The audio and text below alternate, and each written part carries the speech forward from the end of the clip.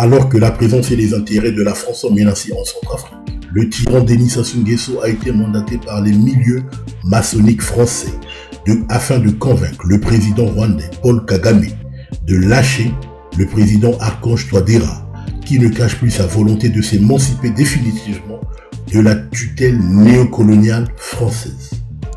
C'est d'ailleurs dans cet élan que le tyran Denis Sassou Nguesso rencontrera très prochainement le président rwandais afin de discuter de plusieurs sujets d'actualité dans la sous-région. Le principe est simple, créer un couloir économique afin de rapprocher ce dernier de la vision néocoloniale française. Si Paul Kagame se fait avoir dans ce jeu machiavélique que Denis Sassou Nguesso tente d'orchestrer au détriment de la souveraineté du peuple centrafricain, un coup d'état militaire ou civil n'est pas à écarter dans le pays des mille collines. Denis Sassou Nguesso est sans doute l'un des piliers néocolonialistes de la France en Afrique.